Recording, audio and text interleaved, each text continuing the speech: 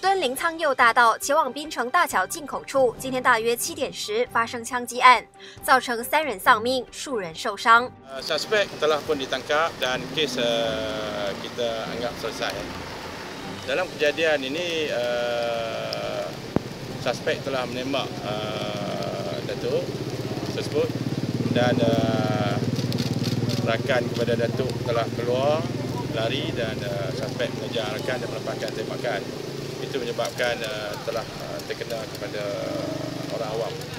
据知，枪击案发生时，数辆车在混乱中相撞，导致大塞车。警方也在事后封路，以进行调查。